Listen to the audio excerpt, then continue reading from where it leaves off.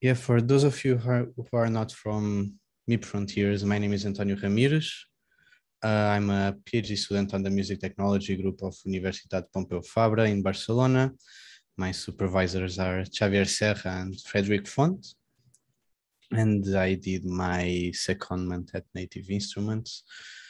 Uh, my work is entitled Automatic Characterization and Generation of Music Loops and Instrument Samples for electronic music production. So I'll start by giving a brief outline of the of this talk. I'll start by introducing a bit electronic music production and uh, then I will go to motivation, uh, explain the objectives of my thesis and end with the contributions. So electronic music production is very accessible to everyone that has a computer nowadays. So you can even freely obtain um, a digital audio workstation, some software that allows you to, to make music, even without having much um, music theory knowledge or, or music making knowledge. Um, one of the core components in electronic music that also allows these uh, allow not having a necessity for music theory is the use of sampling that it's basically uh, taking already pre-recorded audio material and use it again on your and use it on your productions on your music. And this practice is very fundamental to electronic music and it has been there since since its origins. Uh, here we can see a picture of dj shadow a classic hip hop or trip hop producer that is basically taking a piece of a record, probably a drum break, and putting it on his uh, MPC for it to be chopped, rearranged, and resequenced into a different piece. These samples can be used as building blocks for, for making music pieces, as we can see easily in this picture, where different elements are repeated our loop to, to create a new piece. And yeah, some music makers also create their own building blocks by recording and sequencing existing audio, like we were seeing in DJ Shadow, uh, to record synthesizers and other instruments. Um, these music makers and sound designers, they can share their building blocks. They can do it for free on a, or in a commercial manner. For example, they can sell it as sample packs for individual sounds in a service like LoopCloud. Or alternative, there is the platform Freesound, which I've been working more closely with, that um, provides Creative Commons uh, reusable audio material that music makers can, can reuse. Um, these large scale databases of audio, they offer huge collections of these building blocks to be worked on. And sometimes in a more organized manner, as we can see on LoopCloud, and sometimes in a less structured way, like Freesound. And a very common thing is for music makers to collect uh, these building blocks and getting super big collections of, of, samples that at the end might be not manageable. Our research will focus on, on two specific types of, of sampled material. So short isolated fragments and loops and phrases. This is a typology of uh, the sampled material in electronic dance music. Uh, it also contains larger elements like, for example, a cappella and transformed material, which is any of these three uh, sample material that is then transformed in another one. Um, yeah, we'll focus again, as I was saying, in short, in loops and one shots uh, a definition of loops is that they are audio excerpts, usually of short duration, that can be, be played repeatedly in a seamless manner. So you can take a loop, you can put, uh, you can duplicate it, and there should not be any. You shouldn't be able to notice a transition, so it can be repeated for a long time. Uh, on the other hand, one short one shot sounds are short instrumental sounds which are not loops. For example, a drum sound, uh, a sound from a violin that on, on normally only contains one note and is then rearranged. So as we will see, navigation through these loop, loop and one-shot databases is pretty hard. So when you have a big collection, it will be hard to navigate it. And the existing ways to navigate these databases rely on textual search and hierarchical directories, which is obviously not a easy way to, to navigate to navigate them. And that this difficulty in navigation might lead to an interruption in the creative process, which is always not desirable. So for example, here we can see how the samples are organized in three different digital audio workstations. So on the left, we have Ableton, here is Maschine, and on the right, Fruity Loops. For example, Fruity Loops, um, the factory library, so the sounds that come with, with, uh, with the digital, with the DAW, um, they organize the, the sounds through instruments, but as soon as you have a, a sample a sample pack that you obtain from somewhere, which is more like the case that we see here in my collection of samples. Uh, sometimes inside each sample pack, so a collection of sounds with a with a specific theme, uh, it might um, have like the different instruments in separate folders, but at the end, for example, we can have an hi-hat loop that really sounds like an hi-hat loop from another library and maybe when you're navigating, you would prefer to search by similarity than actually searching hi-hat and listening to er through everything that you might have. Uh, here it's, I think, Avid, which also for, follows the same structure. On online collections, uh, for example, sounds.com is developed by Native Instruments, as these are normally from uh, with are bigger than the collections you have in your own computer. Uh, the sounds are annotated in terms of whether they are uh, their character, they timbre, so some kind of timbre, the instrument, and if they are a loop or a one shot, their BPM and key, and you can search it also through genres or by keywords. On Splice, it's another very commonly used platform. You get more this kind of uh, sample packs from artists curated by them or with the sounds they use. And here again, you, you might have tags to search through the sounds, but for example, if you download them, it's going to be a folder with all the sounds inside, maybe categorized, but still be a contained environment. Here again, Loop Cloud, where you can search also by tags and by genres. And here, Looperman is also a database of loops, uh, which is freely available. So people can upload and uh, download for free and relies on, again on key and tempo and keywords and genre and category, which is the instrument. Finally, on Freesound, sorry, the, the search is more motivated by these tags and textual descriptions of the sounds.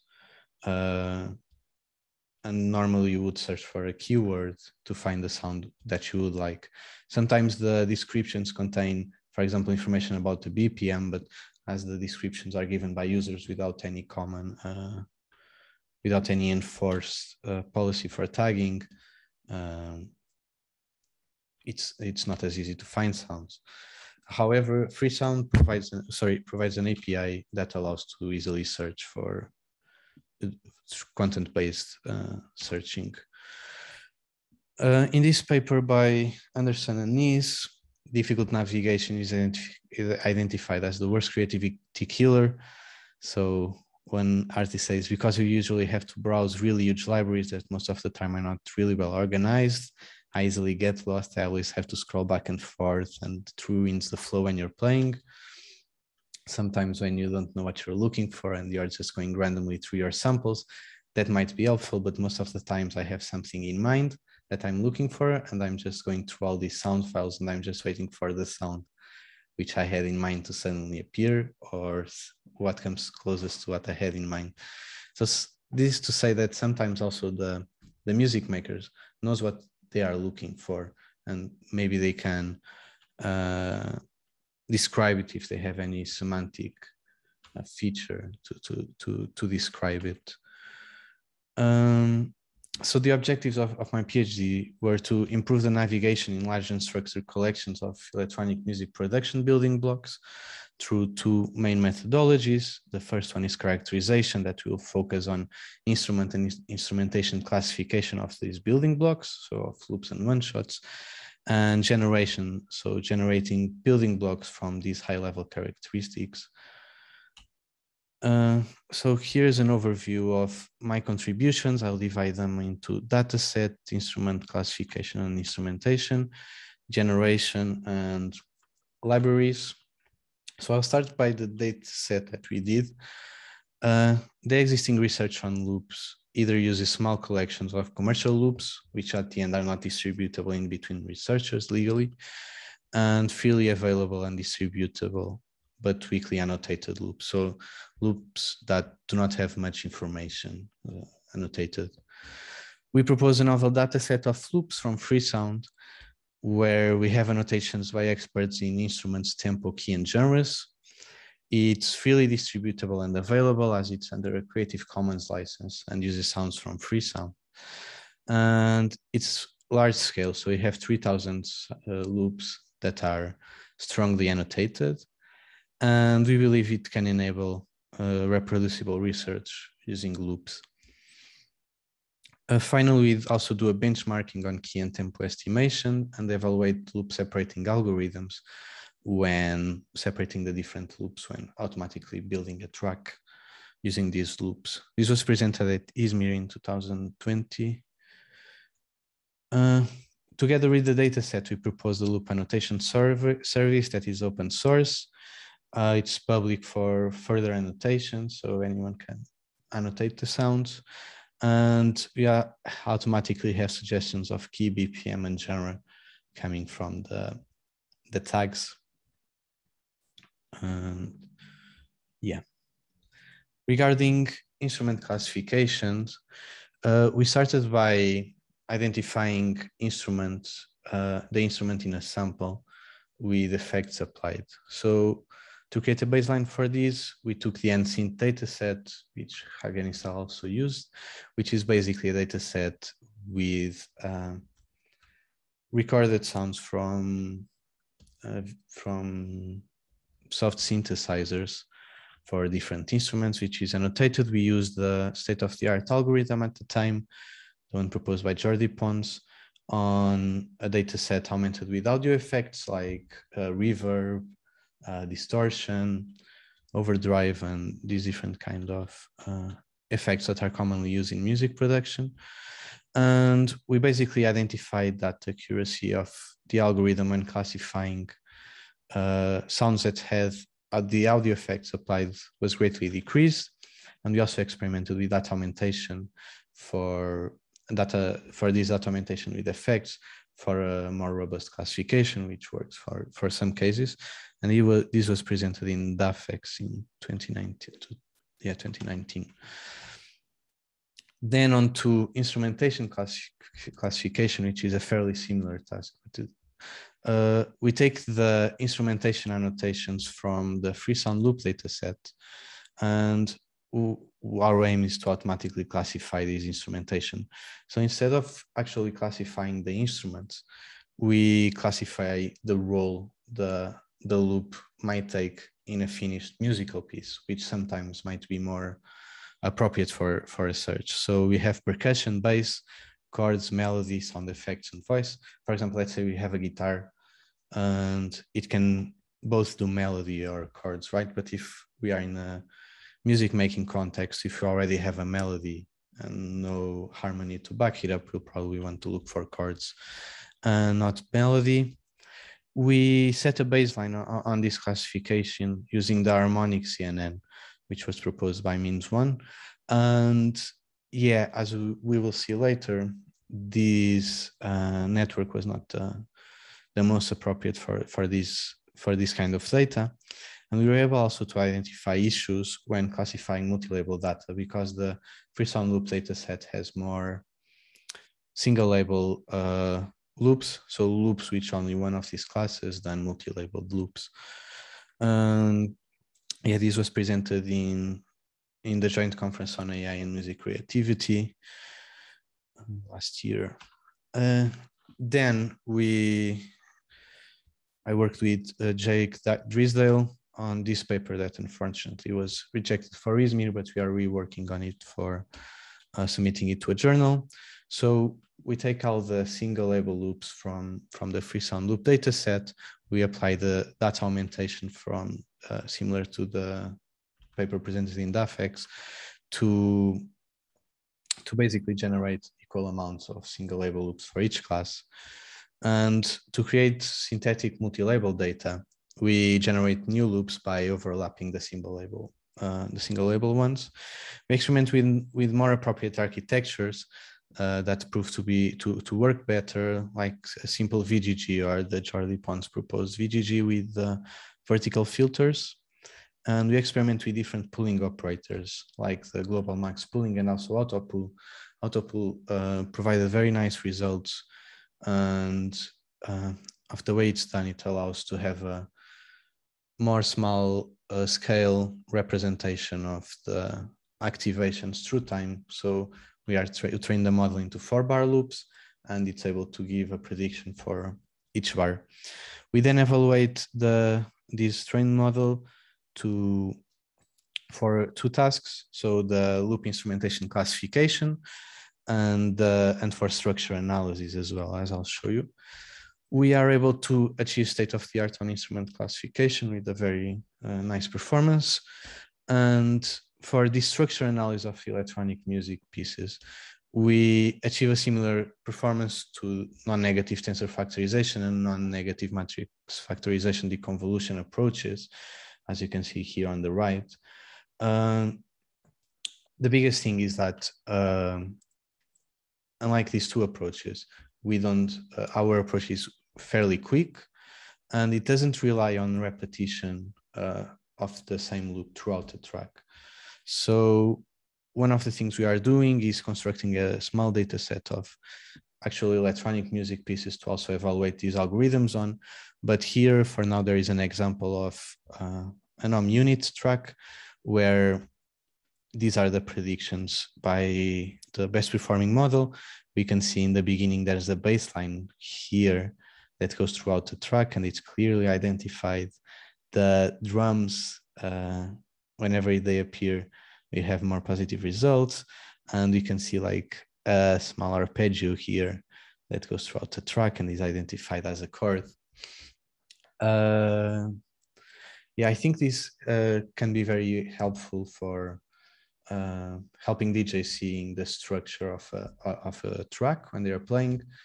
You can also copy a strong a song structure just by providing the loops and replicate the same structure.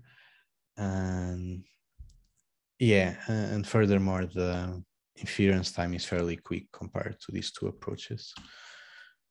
Now on to the generation of percussion uh, i'll start by presenting uh, the data set we also did which is the Freesound one shot percussive sound. So again creative commons sounds um, that can be remixed and distributed.